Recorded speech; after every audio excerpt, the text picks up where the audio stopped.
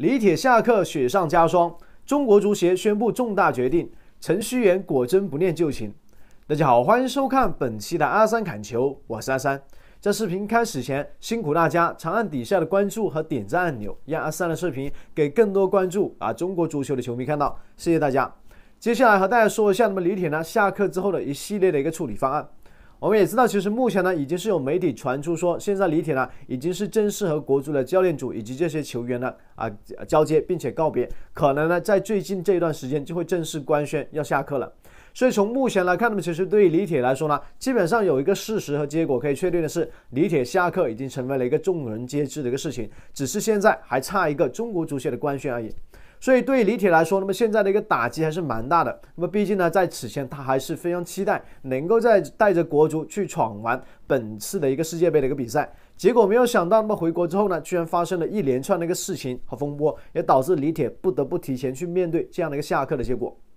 而且，而与此同时，我们也可以看到，其实啊，对李铁来说呢，现在除了说要面对下课的一个结果之外，那么就在最近呢，可能还要面临一个非常多一系列的一个问题。就在最近，根据媒体最新的报道有提到了，那么目前中国足协呢也是做出了一个重大的决定，那么目前针对李铁的一个相关的一个啊周边的东西呢，可能也要进行处理。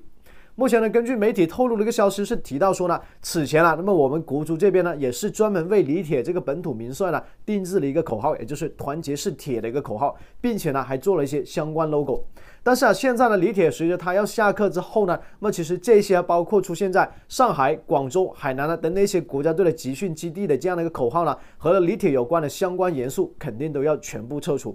毕竟，如果说李铁从此下课之后呢，迎来新的一个教练，那么李铁呢作为一个前任呢，他的所有东西肯定要被处理掉。这样一来呢，才意味着整个中国国足呢迎来了一个转折，迎来一个新生，才能够意味着中国国足要有一个新的变化。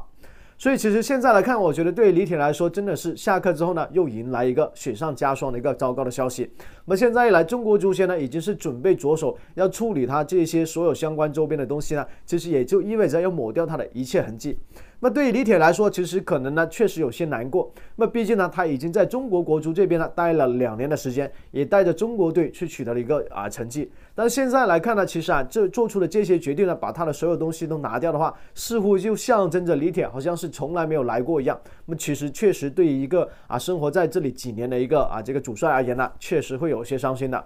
而从这一点当中啊，其实也看得出来，目前足协主席程序员呢，也确实是不念旧情，或者说确实也是秉公执法，是比较公正，或者说比较严厉吧。那么也是按照目前呢，是吧？中国足协的一个安排呢，把这些事情啊给做好，把这些决定呢，这些东西给处理掉。那么确实对程序员来说，他也不能够说念旧情啊，然后保留李铁一些东西，这显然是不合规的。所以现在来看，那么对于李铁来说呢，可能在此之后啊，他要离开国家队之后呢，他所有的东西都不会留在这这个中国队的一个内部。那么对他而言，或许接下来呢，也只能够去面对这样的一个结果。接下来先把他的东西收拾好，然后呢，该什么时候离队就什么时候离队，也不要再留恋这个地方。毕竟呢，这样的一个结果也是他当初呢自己选择的。那么现在呢，其实面对这样的一个处理结果呢，也只能够去坦然接受了。